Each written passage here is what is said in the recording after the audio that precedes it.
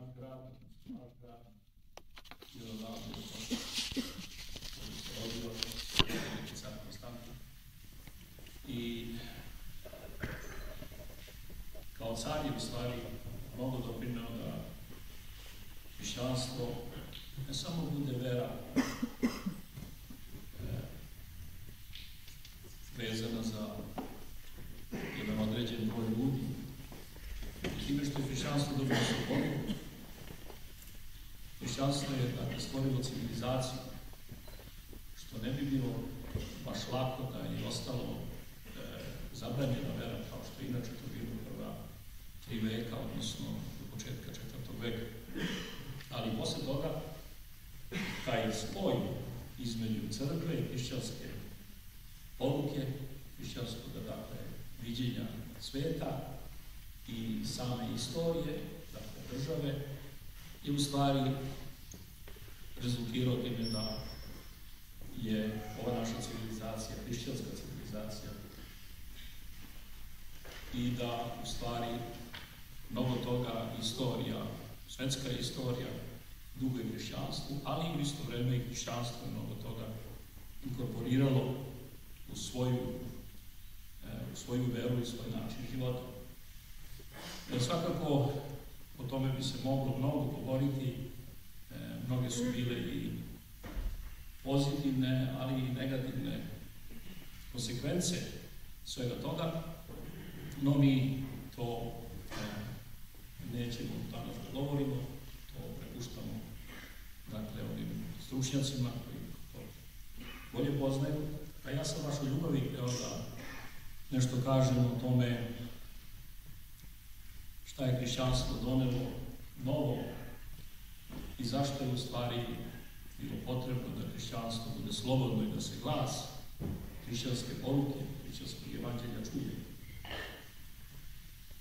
I to je, kao što ste čuli, tema vezana za spasenje.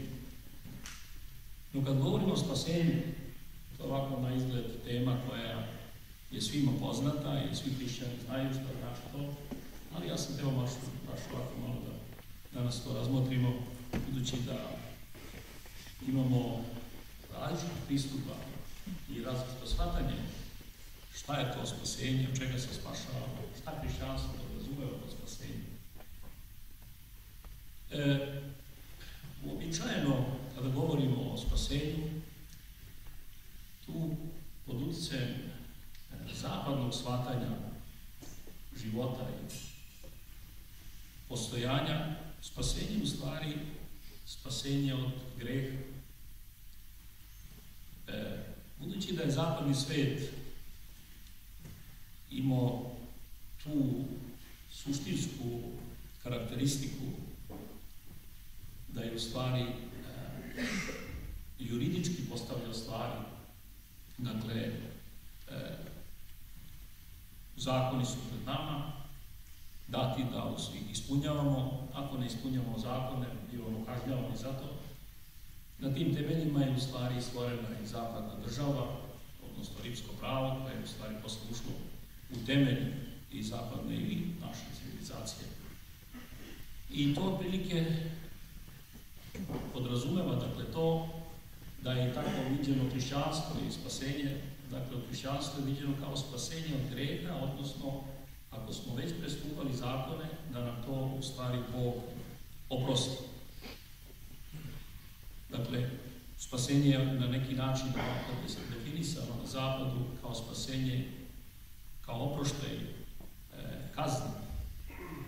U tom kontekstu e, Zapad je razvio i teologiju koja je pre svega utemeljena na stradanju Hristovom. E, stradanje Hristovo je u stvari jedna žrtva, žrtva nevinoga gospoda našeg Hrista, koji nije učinio nikakav greh, i on je, dakle, svojom žrtvom nas oslobodio greha. Bog je njega dao, kako to kažu zapadni teolozi, za iskupljenje, kao iskupitelja, dao ga je u zamenu e, za naše grehe. Otuda u zapadnoj, zapadnoj teologiji, ali uopšte u zapadnoj, zapadnom načinu života, e, hrišćanskom, dominira upravo to da je greh u stvari nešto što je najstrašnije, da je on centralni, centralni, centralni, centralni element, da se oko greha strašno mnogo ovaj, vrti čitav naš život, pazimo se od greha, e, kako bi mogli da izbegnemo i kaznu. E, odatle je nastao i taj takozvani etički pogled na hrišćanstvo, dakle da je spasenje u stvari praštenje greha i jedan bolji život, život koji je utemeljen na zakonima. U bogoslužbenom e, životu zapadne crkve je u stvari počeo da dominira krst kao izraz a, a, žrtve Hristove zbog naših grehova i iskupljenje, dakle, koje smo dobili e, krsnom smrću gospoda našeg Isa Hrista. Odatle na zapadu, u stvari, svuda po selima u crkvi, pre svega u svim crkvama, dominira, dominira krst. Kad uđete unutra, prvo što sretnete, to su veliki krstovi. Ali svaki grad, svako, svako selo na zapadu, u centru je bio krst postavljen. I ono što je kroz umetnost se vidi, zanimalo zapadne umetnike, to je u stvari to ko će vernije da prikaže stradanje Hristovo, odatle imate velike e, umetnike zapada koji u stvari žele da što nekako strašnije prikažu gospodnje stradanje, da bi u stvari mi to videli šta je to znači u stvari naš greh i dok je on doveo da je Gospod toliko dakle stradao. Ono što je Dostojevski nekad rekao za Ticijanovo raspeće, kaže, to jeste, kaže, hrišćanski simbol, krst, ali, kaže, pred ovim raspećem čovjek u samo može da padne besvest i da u izgubi svaku nadu da ima u tog izbavljenja nekoga da hoće da kaže da je, to se njemu desilo prvi put kad je posmatrao to, pa je to u stvari prepoznao. Dakle, e, hoće da kaže da taj jedan pristup e, dakle, tome što hrišćanstvo jeste, šta, viđeno kroz krst, je nešto što baš i nije e, e, u suštini hrišćansko. Za razliku od e, zapadnog shvatanja e, spasenja, koje je spasenje od greha, spasenje od kazne, e, i u kome ne dominira, dakle, to stradanje Hristovo krst, pa i mi kao hrišćani u zapadnoj toj interpretaciji, odnosno tumačenju, treba da budemo hrišćani, jesmo hrišćani samo kad stradamo i ukoliko više stradamo, dakle, da smo nekako i bliže Bogu. Na zapad, na istok, u stvari, u odnosu na sve ovo, imamo jednu sasvim drugu perspektivu. A to je u stvari da kod nas dominira vaskrsenje. Pre svega naša služba, kao liturgija, je u stvari jedan radostan događaj. Uđete u crkvu koja je ukrašena ikonama, svetiteljima, dakle, vaskrsenje Hristovo dominira, svetitelji su dati u sasvim drugačijoj formi, nego što je to njihov bio život, bez obzira što su istoriji stradali, dakle oni nisu prikazivani takvi kao stradalnici, nego su prikazivani na jednom drugom svetu, dakle svetu više radosnom, nekom proslavljenom, neko, nego, stradalom. Interesantno je što je zapazio Uspenski u svojoj izi studiji o hrišćanskoj umetnosti, da u stvari u prvim vekovima kad je bilo najveće godinje hrišćana, da su hrišćani najviše stradali. Po katakombama iz tog perioda, da su katakombe su dakle stare crkve, odnosno one crkve mesta, gde su se skupljali hrišćani za liturgiju. Dakle, po tim mestima, tim katakombama nije bilo izobraženja stradanja i mučeništva.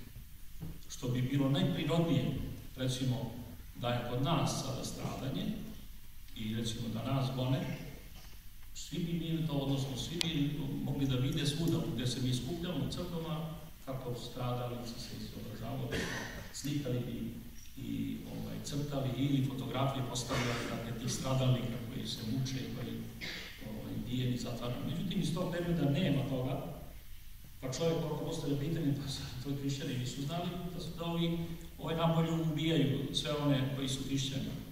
Ali to ovaj, ukazuje na nešto drugo, dakle, a to je ono što ja želim vama da kažem, to je dakle da pravoslavlje, odnosno istočno hrišćanstvo, gleda u stvari na hrišćanstvo, na suštinu hrišćanstva u kontekstu dakle spasenja, da ono donosi spasenje od smrti. Ne od eh, toliko od greha i od kazne. Koliko e, ima za cilj prevazilaženje smrti. Zato je u stvari vaskrsenje Hristovo centralni događaj u našim crkvama. I sama liturgija je u stvari ikona vaskrsenja. I kao što rekao, čita taj naš život i u stvari prožet razlicima. I kad se posti, i kad se strada, uvek dođe, dakle, jedan, jedan dan, kada sve to se odjednom zaboravlja i kada se iz te perspektive u stvari posmatra život, to je ta vaskrsenja, ta radost. E, dakle, ovo ukazuje na to da je centralni problem koga je hrišćanstvo videlo u veza za čoveka i uopšte za čitavu prirodu je u stvari smrt. I hrišćanstvo je donelo tu poruku da spasenje znači spasenje od smrti.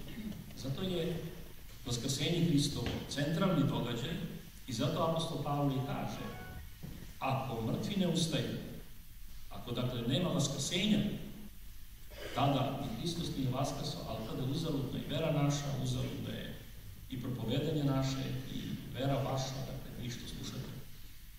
Jer u stvari tada nema ovaj, ničega, nema života. Dakle. I zato je apostol Pavle upravo i smrt nazvao najvećim, najgorim neprijateljem čoveka i uopšte čitave tvorevine. Nazvao ga kako to na grčkom stoji, eskatos ektros. Dakle, poslednji neprijatelj.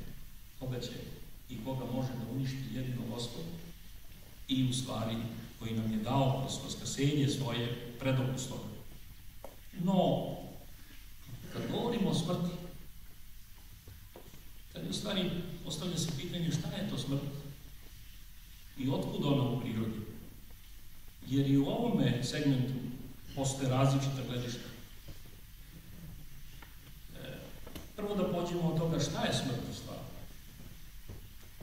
Ovaj problem je mogo da se sagleda iz dve perspektive. Iz dva iskustva, da tako kažem. Jer sve ono što definišemo, odnosno o čemu govorimo, uvek ima kao podlogu neko iskustvo. Moglo bi da se sagleda, dakle, ovaj problem smrti, da sagleda iz iskustva prirode i iz iskustva ličnosti. Ako posmatramo smrt, posmatrajući prirodu, tada u stvari tu smrti ne postoji. Smrt je promena tada u prirodi i to je nešto pozitivno. Jer recimo, kada jedno zrno, seme, odno, jedna semenka, jedno zrno pšenično padne u zemlju, ono umre, ali kad umre, ono stvari donese ploda. Dakle, ta smrt toga, toga zrna, zrna, je u stvari ništa drugo nego život. I ako posmatramo, dakle, prirodu uopšte, posmatramo taj fenomen smrti kroz prirodu, tada nema tu mnogo opasnosti, odnosno nema tu nikakve, nikakve smrti. To sve se rađa i umire, priroda dakle se ne gubi, kako bi rekli fizičari ili recimo biolozi, koji danas veruju u svojoj nauci i drže se svoje nauke biologije, oni kažu da zašto mi hrišćani postavljaju ovaj problem, kad u stvari bez smrti nema života.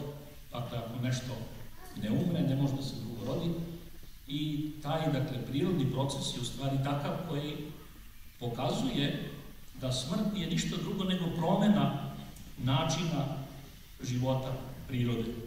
Samo je druga forma, a ista je ta priroda. Fizičari govore o tome da se priroda ne gubi i to u stvari pokazuje da smrti u stvari nema. Tako su otprilike i grčki filosofi posmatrali život I taj život je u stvari takav bio. To je bio u stvari jedan neprestani krug. E, sve se vrti u krug, dakle, e, nema ni početka ni kraja u onom smislu, e, apsolutno. i na ovoj osnovi nema ni smrti. Priroda je ta koja večno postoji i ona samo menja svoje forme postojanja. Tako otprilike i čovek, mnogi ljudi su tako, ovaj, gledajući tako na smrt, u stvari i to njeno rešenje, dakle, vidjeli u tome da rađajući decu, u stvari, mi na neki način e, idemo u toku sa prirodom, dakle, i tu nema, pobeđujemo smrt. Što se više rađamo, sve, dakle, ovaj, e, smrti nema, još roditelji imaju i to, dakle, to je jedno iskustvo, da misle da i deca nasleđuju, odnosno da oni nastavljaju da žive kroz svoju decu i zato je to nije slučajno da roditelji strašno ovaj, žele da prenesu svoj, svoju ličnost, sebe, dakle, na decu. I upravo kada dete počne da radi nešto drugo nego što roditelj želi, tada u stvari pred roditeljem nastaje jedna slika, jedna, jedna situacija, gde on prepoznaje da dete nije on, nego da je on sasvim jedna druga ličnost. I tada u stvari dolazi do tih teških, da tako kažem, u životu lomova, rodi između roditelja i dece, gde, gde roditelji nastoje, dakle, da vide u stvari da deca su u stvari oni. Međutim, e, to pokazuje, dakle, život da to ipak nije to, da su deca drugi, e, drugi ljudi, druge ličnosti, sasvim drugačije nego oni. Ali ono da, ono što sad rezimiramo iz ovoga, dakle, posmatrajući smrt iz perspektive prirode, ona u stvari ne postoji. To je sve na neki način ponavljanje i tako ide sve u krug i tu i ne bi baš imali čega da se bojimo. I zato i ovi naučnici i fizičari, kao što rekao, biolozi i mnogi drugi, koji su verni svojim naukama, oni u stvari ne vide nikakve u. I oni nemaju potrebe za veru u Boga ili tako nešto.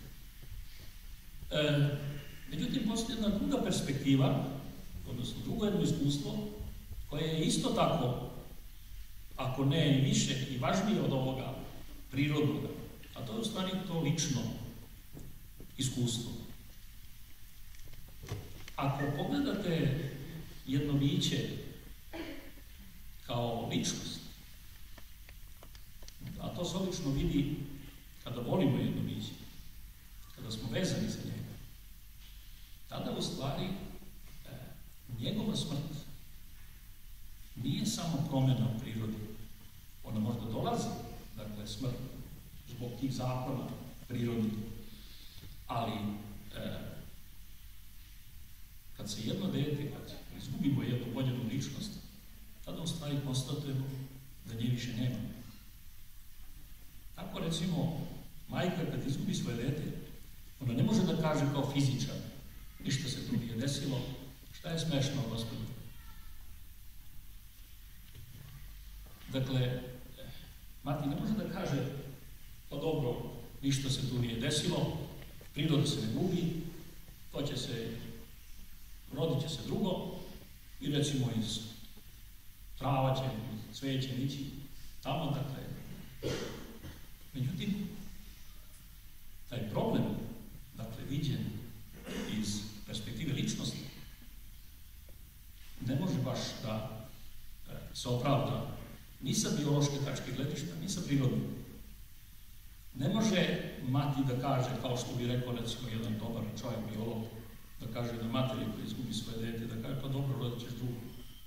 Ili imaš još dece. Ona to ne može da ovaj, takvu jednu, jednu uteku, bez obira koliko ona bude dobro namerna, ona ne može da shvati. Dakle, smrt jedne ličnosti otkriva pred nama problem smrti onako kako ga je apostol Pavle naziva, a to je poslednji neprijatelj. Dakle, nešto što je najstrašnije. I upravo hrišćanstvo, pošavši od ličnosti, je videlo da je smrt prestane postojanja, ne dakle promena forme postojanja, nego prestane postojanja svakoga bića i uopšte sveta u celini. Da svet jednog dana može da prestane da postoje više nema. kao što je jedna ličnost, prestaje da postoji svojom smrću. Pogotovo što su hrišćani u stvari vidjeli i čitav svet iz te perspektive, iz tog iskustva ličnosti. Pa su u stvari, zato i apostol Pavle kaže da je sve stvoreno za Hrista, u Hristu i kao Hristos. To znači, apostol Pavle vidi čitav svet kao jednu ličnost, kao Hrista. A recimo vi, kad volite nekoga, kad u toj ličnosti koju volite, vidite čitav svet. Tada svet izgleda lep, tada sva brda i doline izgledaju lepe, tada je svet sasvim drugačiji. On dobije jednu ličnu dimenziju. I isto tako kad se ta ličnost izgubi, kada umre, kada se i svet pomrači pred našim očima. Tako mati koja voli svoje dete, on u stvari tako i kaže, kad izgubi svoje, on kaže, ne treba mi život. Dakle, ona više nema razloga, taj svet za nju kao da ne živi. Dakle, to iskustvo ličnosti pokazuje ne samo jednu konkretnu ličnost, jedno biće, dakle, kao neponovljivo, koje ugrožava smrt, kao posljednji neprijatelj, nego i čitav svet u stvari shvata tako da je kao, da u stvari svakog trenutka može da se izgubi. No, otkud smrt u prirodi?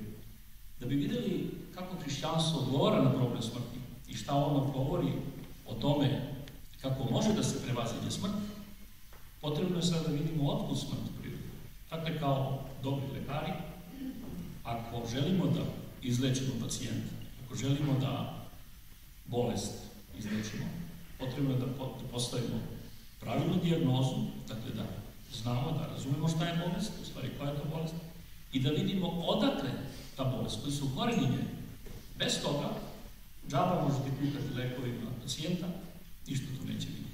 Morate da napravite, dakle, dobru dijagnozu. Sveti oci su pravili prvo dobru dijagnozu i u vezi s ovim problemom. Dakle, odakle smrt u prirodi? Obično se tu govori, mnoge teorije postoje, jedna od teorija sa kojom se susrelo hrišćanstvo na početku, to je u stvari gnostička teorija. Teorija da je smrt u stvari e, e, vezan za materiju, da je materija nešto loše po sebi, ali to ne u tom smislu, dakle, kao što smo mi ovde videli, nisu videli smrt kao poslednjeg neprijatelja, nego otprilike nešto u onom platonovom smislu da je materija po sebi nešto loše. A duhovni svet je nešto dobro po sebi. Pa su nekako na tu, ovaj, e, otprilike tako tumačili i vezivali u stvari sve ono što je loše za materiju. To hrišćanstvo nije prihvatilo. Hrišćanstvo je govorilo o tome da je u stvari svet stvoren nišega i zato je on. Dakle, e, to je bila prva istina vere koju su hrišćani ispovedali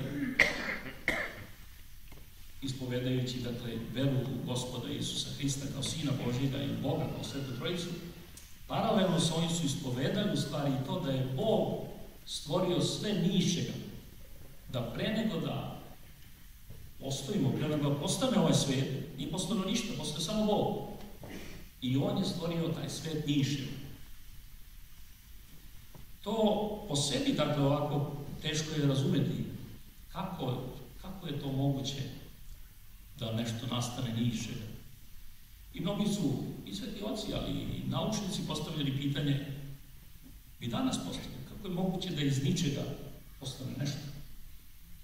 Ili ona stara poslovica, latinska, ex nihilo nihil fit, iz ničega ne može, ovaj, iz ničega je samo ništa može da bude.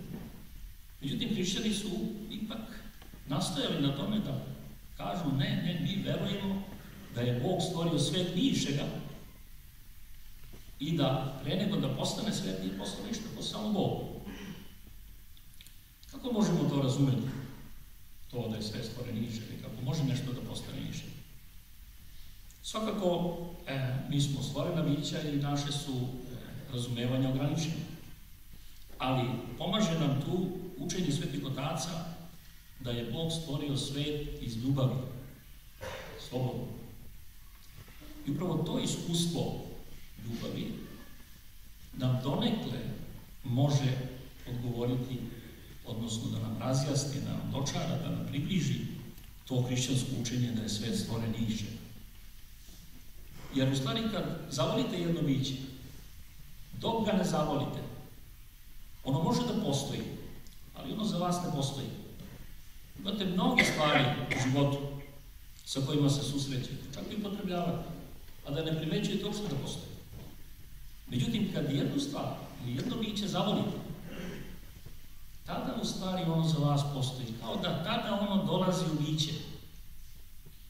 I sada je, postoji za vas i nešto je dragoceno. Nije to isto kao i sva druga bića. I ono zašto bi mogli da kažemo da zaista postoji, to je ono samo što volimo. Ono što, zašto smo vezani. To može da ponese epitet postojanja. Ali i ovoga što smo malo pregovorili nepostojanje. Dakle, kad se ta ljubavna veza prekine,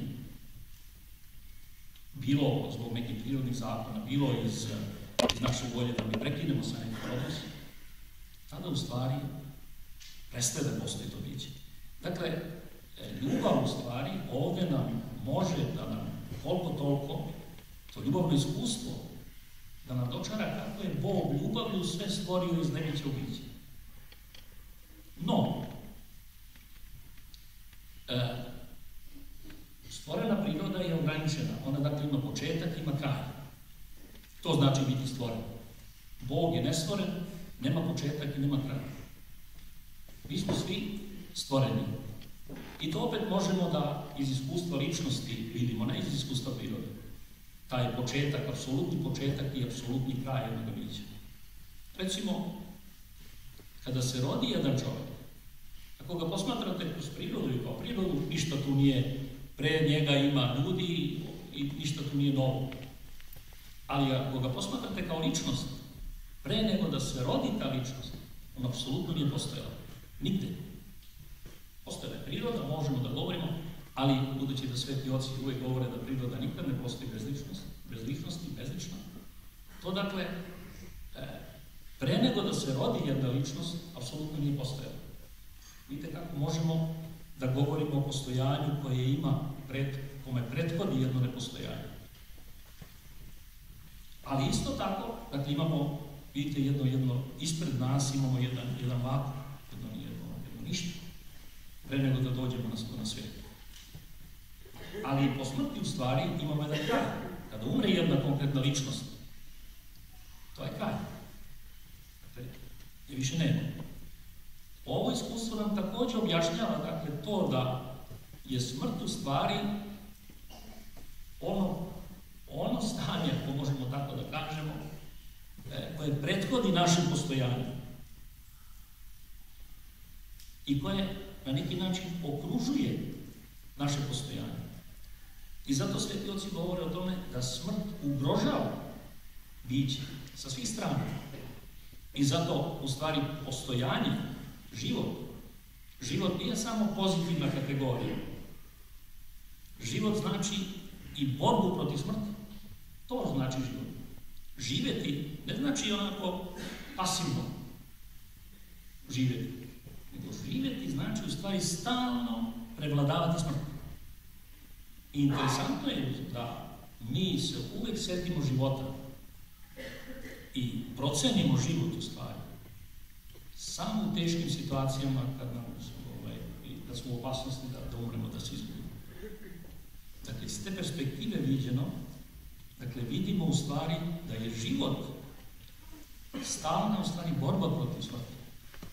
I tako naše postojanje je u stvari postojanje za život. To nije, to je postojanje protiv nečega, u smislu protiv smrti. Nije dakle postojanje na pasivno, pasivno stanje, Dakle, možemo da rezimiramo i ovo, dakle da je smrt u prirodi u stvari e, postoji zato što je ta priroda stvorena niše. Ona je okružena e, sva priroda, dakle, čita svet je okružen šta bilo pre nego da postane, nije postojao. Može da svakog trenutka prestane da postoji. Nema u sebi ništa što može da ga drži u postojanju. Nije Bog stvarajući prirodu to stvori jednu božansku prirodu ili recimo da je uzeo od svoje božanske prirode, nego stvori jednu prirodu ničeg, koja nije ista kao njegova priroda. Božanska priroda je večna, a naša priroda je smrtna. Mi smo dakle stalno ugroženi smrću, zato što su stvoreni. Međutim, na koji način može, kako šta hrišćanski oci govore, na koji način može da se prevaziđe smrt? E, bez e, ovo shvatanja, dakle ovoga što smo izneli prethodno, ne možemo dati ni tačan odgovor u odnosu na ono što su nam sveti oci ostavili povodom ove problematike. Obično danas hrišćani to više nekako govore o prevazilaženju smrti na taj način što veruju u besplatnost prirode ili je to duša, duhovna priroda ili ovi koji ne veruju Boga veruju u besplatnost materijalne prirode i tu manje više ne postoji nikakva smrt. I na taj način je u stvari sve, svaki problem rešen. Međutim, da je tako, da se problem smrti može rešiti na taj način što mi u stvari imamo besplatnu prirodu po sebi, tada ne bi bilo svega ovoga što se desilo radi nas. Ni Hristovog ovoćenja, ni njegovog stradanja, ni njegovog spasenja.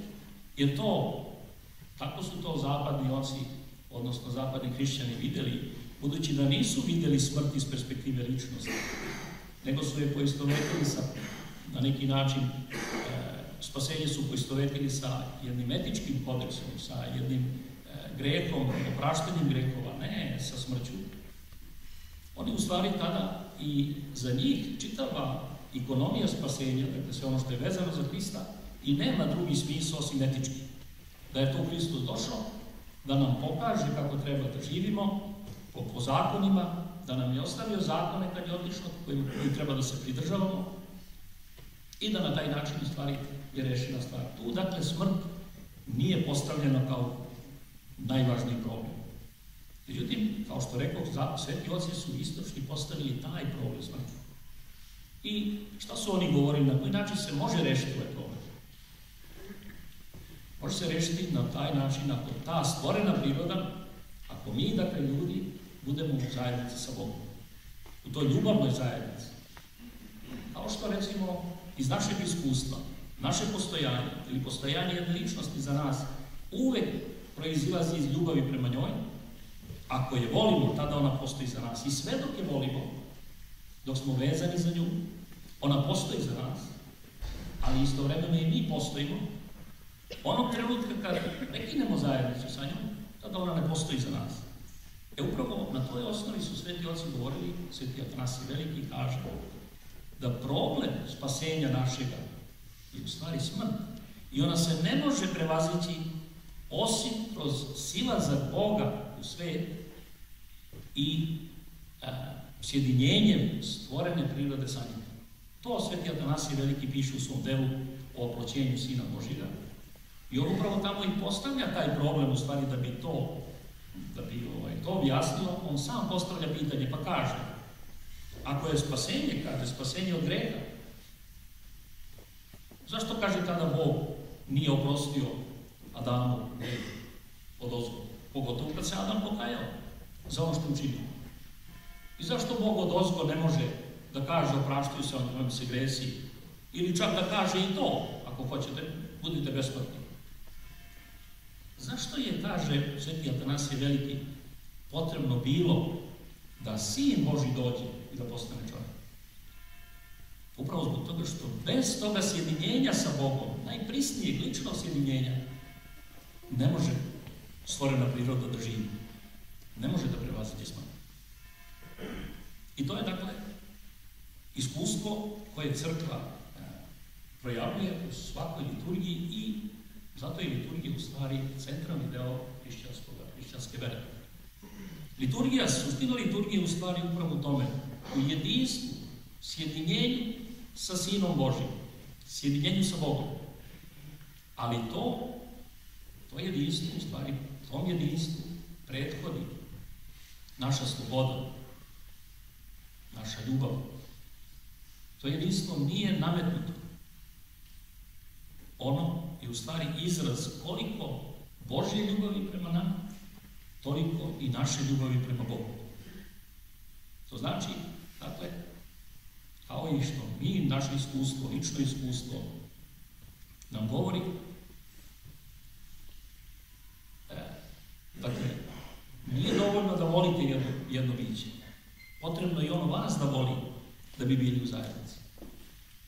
Da bi bili ličnost. Jer još ako volite jedno biće, ono vas ne voli, tada u stvari to njegovo postojanje kao za njega. Jeste imali prilike da neko želi da bude sa vama, a vi ne želite? To u stvari nije postojanje.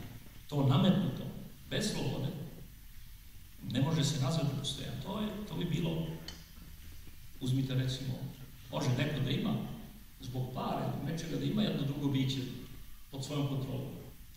Ali i on je svestan da bez toga slobodnog pristanka te ličnosti, on može sa njom sve da radi, ali on je nema kao ličnost.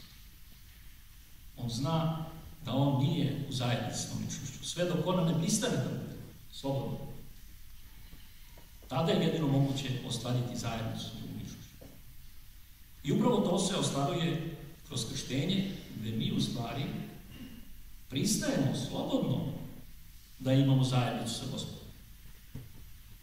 I ta naša sloboda je utoliko e, istinskija, utoliko realnija, zato što mi u stvari kroz krštenje i sada kroz liturgiju nemamo objektivno prisutno gospoda među nama, u smislu da je on tu. Jer često postavljamo pitanje, zašto gospod koji je došao da nas spase, zašto se vaznao na nebo posle vaskrsenja? Zašto nije ostao među nama? da je ostao među nama, takav koji je pobedio smrt, koji je sve mogući, kome ništa niko ne može na sebi, naš odnos prema njemu ne bi bio slobodan. I on ne bi bio za nas ličnost, voljena ličnost. On bi bio nešto nametnuto kao jedna objektivna stvar. A to Bog nije hteo. Jer Bog je ličnost i On želi da, da ga priznamo kao ličnost i On nas priznaje kao ličnost. A to može samo ako slobodno želimo, ako ga volimo. Zato on kaže Tomi.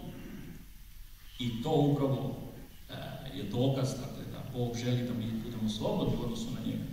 Kaže Tomi kad je Toma pipno, pa kaže Gospod moj, Bog moj, tad veruje da je Hristos vaskrsao. A on mu kaže, e Tomo, ti si se sad uverio i sad ovaj, video si mi sad veruješ. Ali blago onima koji ne videš, a veruju. Šta to znači blago ono, onima koji ne vidiš? Zato što oni veruju slobodno. Oni to žele iz ljubavi, nešto je nametnuto. I upravo mi, dakle, kršteni, slobodno se sjedinjamo sa gospodom, koga još ne vidimo. I u liturgiji se slobodno sjedinjujemo sa gospodom, zato što želimo da se sjedinimo sa njim. To, dakle, što Gospod stalno napominje u stavu Novom Zavetu, ako želite, bit će vam.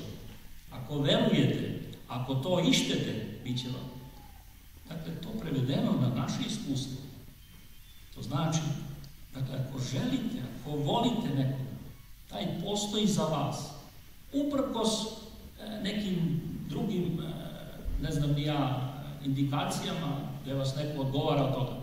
Dakle, samo vaša ljubav prema nekome čini to drugu prisutnu među vama, iako je možda on odsutno fizički. Kako kad volite jednu ličnost? Ona može da bude fizički odsutna, daleko od vas. Ili recimo, ne daj Bože da umre. Ali vi svojom ljubavlju u stvari ne dozvoljavate da ona bude daleko od vas. Ljubav je u stvari u osnovi naše vere, ali opšte vere čoveka u Boga. Ona proizlazi iz ljubavi. Bila je jedna jako dobra e, neka emisija koje pravi BBC i hteli su u stvari da pokažu da odakle počinje da odakle crkva, odnosno počinje da postoji vera u čoveku, vera u Boga. pa ne znam ja tamo pretpostavka bila, ne znam ja neke ovaj, e, prirodne sile, ne znam, grom, grbljavine, gromovi, ne znam ja šta znam, pa čoveka plaše ko počinje da veruje u Boga, ovaj, bile su neke teorije. Međutim, ona, ta emisija, ona pokazuje jednu drugu dimenziju. Pokazuje stvari dimenziju kada jedan mladić koji ide, jedna grupa ljudi, ti primitivni ljudi, ovaj, prvi ljudi, ide, kreće se kroz neku, neku ovaj, šumu i odjednom počinje da grmi i grom udari i ubije e, jednu ženu i, i ovaj, jednu mlađu devojku, odnosno ubije sestru i, i, i majku e, jednoga iz te grupe. I on se izdvaja iz grupe i ostaje sa njima. Drugi ovi ljudi ga traže da on ide sa njima, da ostavi to, vide da su mrtve i da je ostavi. Međutim, on neće da ostavi. Ta ljubav u stvari počinje da on sada počinje da ih brani od životinja, jer sad životinje napadaju, već su i one osetile, ne znam ja, to je kao što je inače u prirodi se dešava, ne znam, kad jedno biće ugine ili one moće, odmah se skupe tu drugi koji će to da jedu, ne znam. Dakle, on počinje da brani iz ljubavi, on dakle bori se protiv toga, on ne ide, ne ide sa prirodom, jer prirodom je bilo kao što i oni drugi reaguju, da idu dalje, da se sklanjaju, pogotovo što sad i životinje nailaze i ne znam, ne, on neće. I odatle nastaju grobovi, dakle, e, da čovek e, sahranjuje nekoga, ali ga sahranjuje ne da bi ga, ovaj, ne znam, je izgubio, njega sahranjuje ga da bi se čuo uspomenu na njega. Neće, dakle, da dozvoli da ga smrt izbriše. I to je, dakle, izraz, odnosno, da, ta ljubav čoveku, ta sloboda, dakle, da voli jedno biće, to je e, izvor vere u Boga. I nije slučajno da sveti oci i da sveti apostoli nastoje na tome da svaki onaj koji ljubi bližnjega, drugoga, taj poznaje Boga. Dakle, uvek, zato što je Bog ljubav. Dakle, uvek za ljubav vezuju to i ljubavno iskustvo vezuju veru, istinsku veru u Boga i poznanje Boga. No, da se vratimo.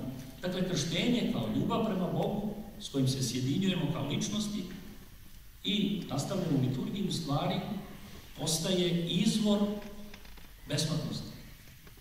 I zato će sveti Ignjatije Bogorosac nazvati liturgiju lekom protiv smrti. To farmakom i satanasijes, kako kaže tamo na ručku.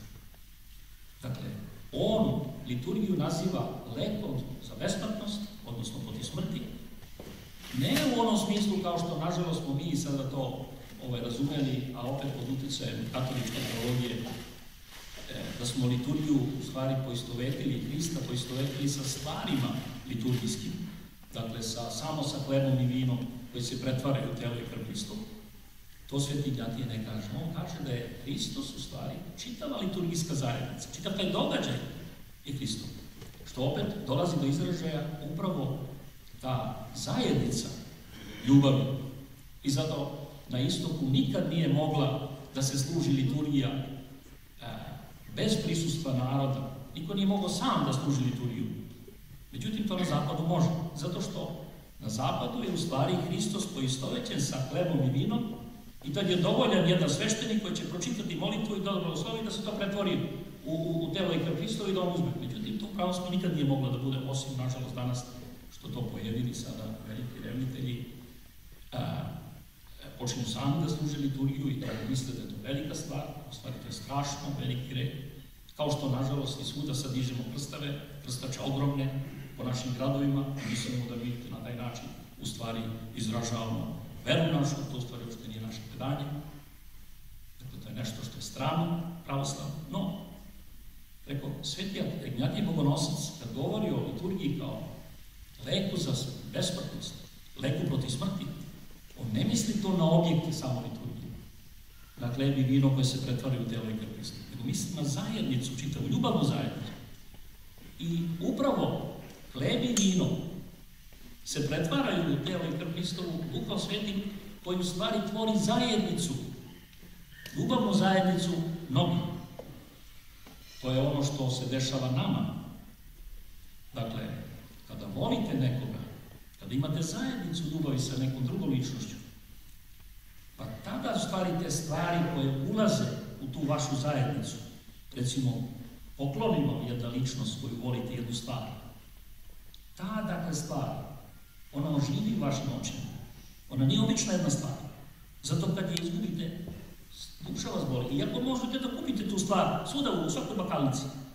Ali e, ovdje se vidi u stvari da nije stvar po sebi da ima nešto važno, nego ona je važna zbog toga što ušla u jednu ljubavnu zajednicu. I isto tako, kad se ta ljubavna zajednica prekine, odmah i stvari izgube vrednost. Šta se dešava sa, kad se razvedu, kad ne znam ja, ovaj brak se razvede, prvo što radi žena baca stvari ovaj, iz kuće, dakle one što je muž donao ili što je poklori, zato što i one su izgubile vrednost i nemaju vrednosti. Stvari mogu da imaju vrednost samo ukoliko postanu deo ljubavne zajednice, deo ličnosti.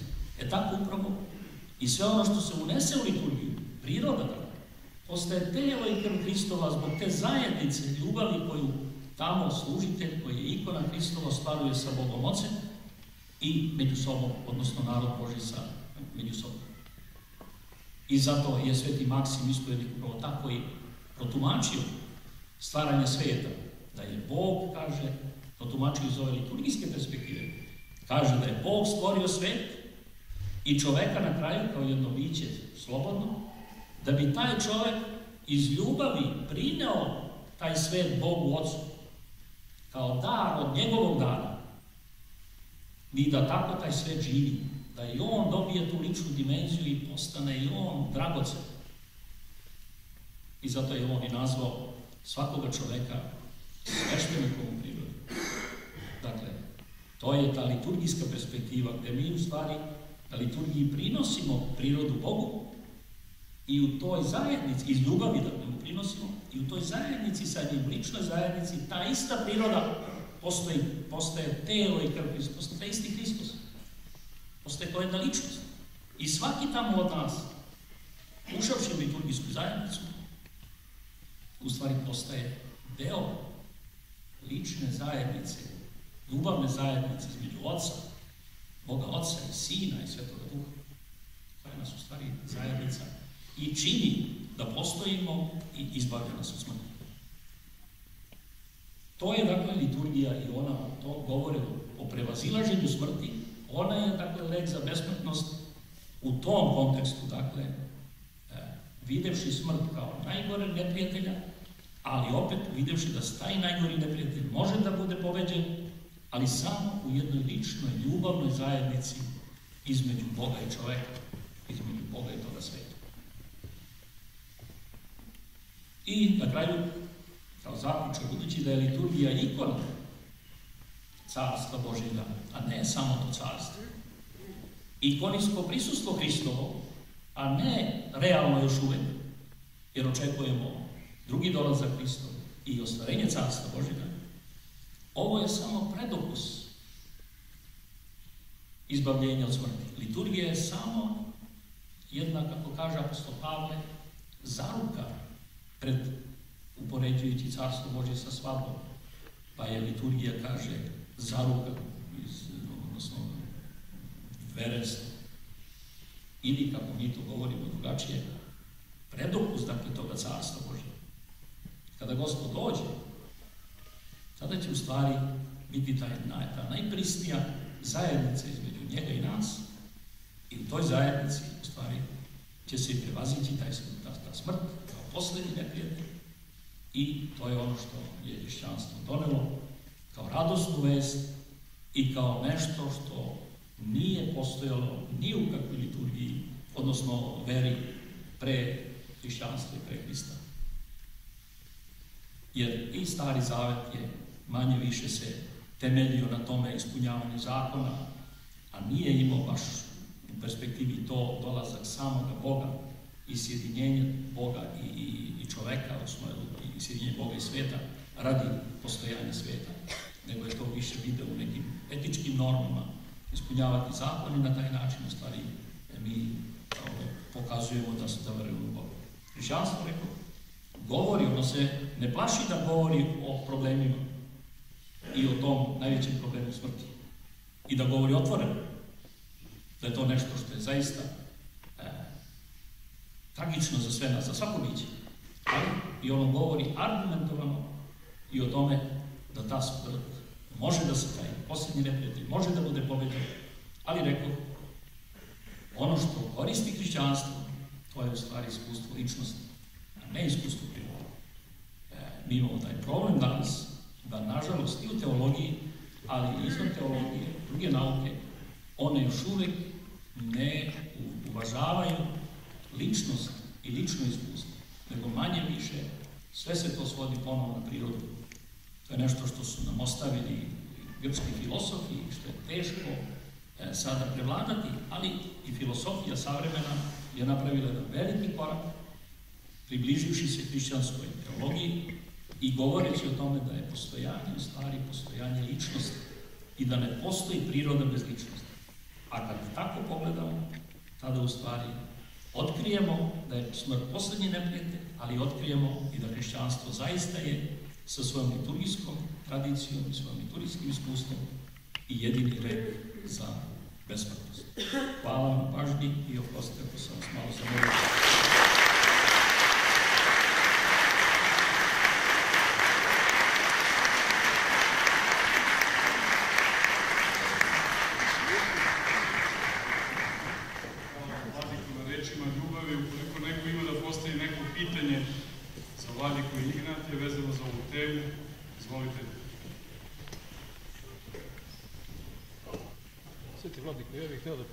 Pitanje, nemoj da mi zamerite. Ovaj, nisam učio bogosloviju u školi, ali volim pravoslov. E sad mi interesuje ovako da ja raščistim sam sa sobom. Što se tiče čoveka, ja sam čuo da ima duh, duše i telo. To je čovek. Jel možete malo bliže da mi to pojasnite ako vam nije teško? Tu vezu. Da, da. A ako mogu da postavim odmah i drugo pitanje, a za malo kasnije, u vezi vašeg predavanja.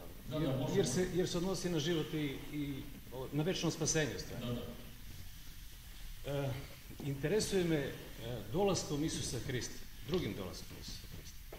Jel to znači da će Isus Hrist e, praktično da bude sa telom ili se radi samo o duhu?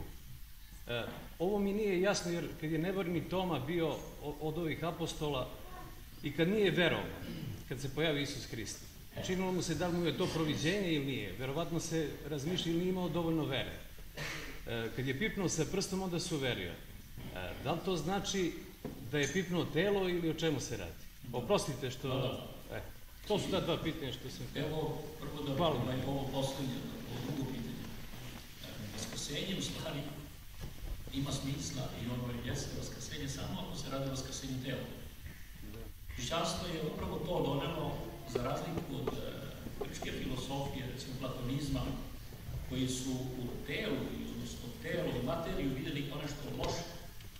I spasenje se kod Platona i novoplatonista, recimo kao što je Plotin i ovaj drugi, recimo Proklo kasnije, sastavilo u tome da se čovek oslobodi tela, da se duša oslobodi tela i da se vrati u to duhovni taj svet, to je bilo spasenje.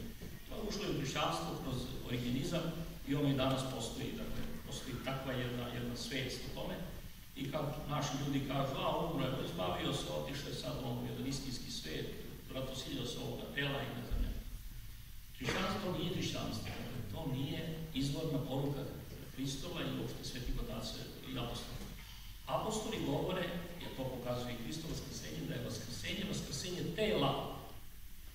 I interesantno je da su, dakle, najstariji, najstariji ispovedanja vere, koju su, koje su ovaj, morali da kažu, odnosno trebali da kažu oni koji žele da se krsti, da postanu hrišćani, između ostalog, vera u Boga, Oca i Sina i Svetoga Duha, ono što imamo i danas, i vaskrsenje tela, što imamo recimo danas u simbolu vere na kraju čeka vaskrsenje mrtvih i život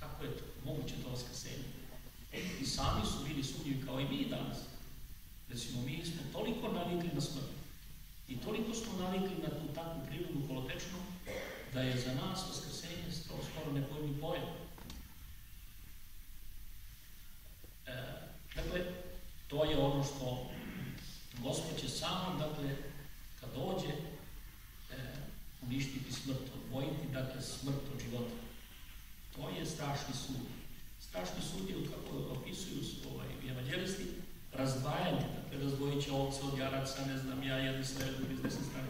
Ali to razdvajanje, misli u stvari razdvajanje samo da se razluči ta istina od laži i smrt od života. Jer sada, u ovom našem stanju postojanja, mi smo sve to pomešali. Kod nas i život i smrt pomešana, istina i laž pomešana, sve je pomešano. E, ali to će jednog dana da bude ovaj, razdvojeno i neće više biti smrt. Što se tiče druge, odnosno prve vaše pitanja, e, svetioci kao i, sa drugim stvarima što se dešava, oni koriste terminologiju, rečnik, recimo i reči, e, da bi saopštili svoju poruku.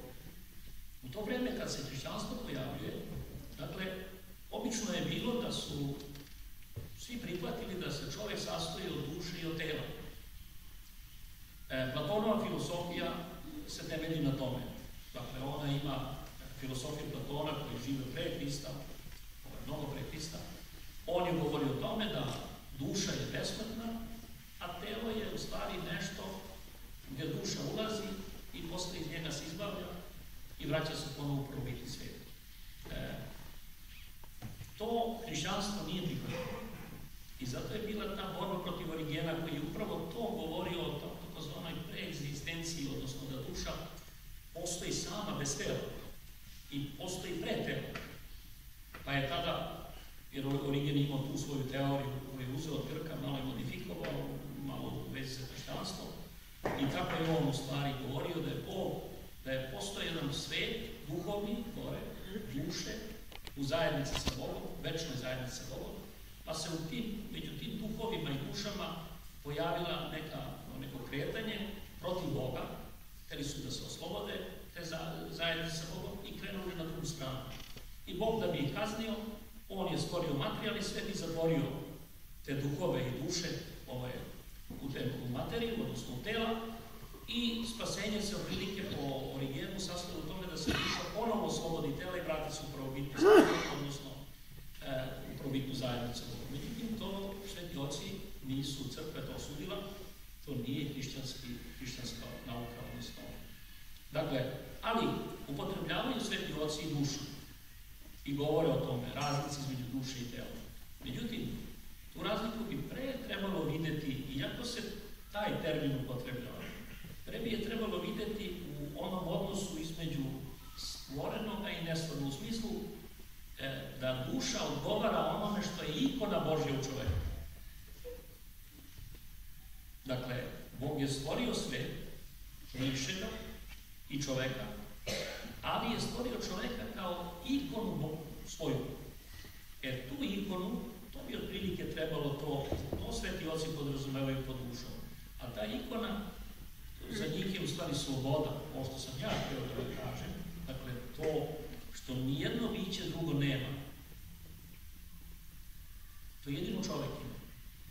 Dakle, čovjek ima tu slobodu kojom u stvari on projavljuje na neki način Boga u svijetu. I ta sloboda je jedan čudesan koji ne može baš da se i definiše ovaj, tačno, Ali kad god vi slob, ovaj, slobodu svoju projavljujete, tada u stvari vi ne idete baš u korak sa prirodom. To nije prirodna stvar. Sloboda ne je